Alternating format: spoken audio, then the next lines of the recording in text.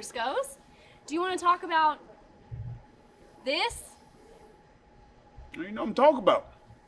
I've missed the boat. Oh, okay, the boat. Do you want to do you want to extrapolate on the boat? Let me explain what's going on with the boat. Mm -hmm. It ain't so much that you missed the boat, it's that you jumped out the boat swimming after some man named EC3. This ain't true. This is not the use. No. It's a fact. I remember it happened. Okay, well, as the captain of this boat, No, he's not the captain. okay, but of this metaphorical boat, as the captain of this metaphorical boat, have you considered maybe driving it back around so that someone, maybe your brother, get back on it? He got a long way to drive. The thing about this boat is, it's called the SS World Tag Team Championships. You know, You need to get your ass back on the boat. you gotta, you gotta at least like swim out of the shallows.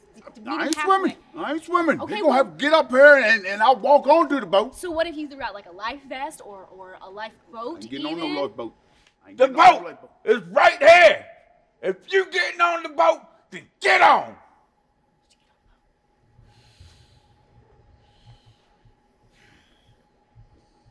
Well, in that case, let's do it. Let's do it.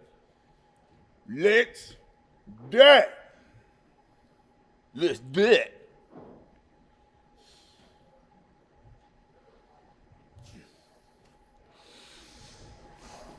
So I don't think we're quite there, but we're definitely on the right track.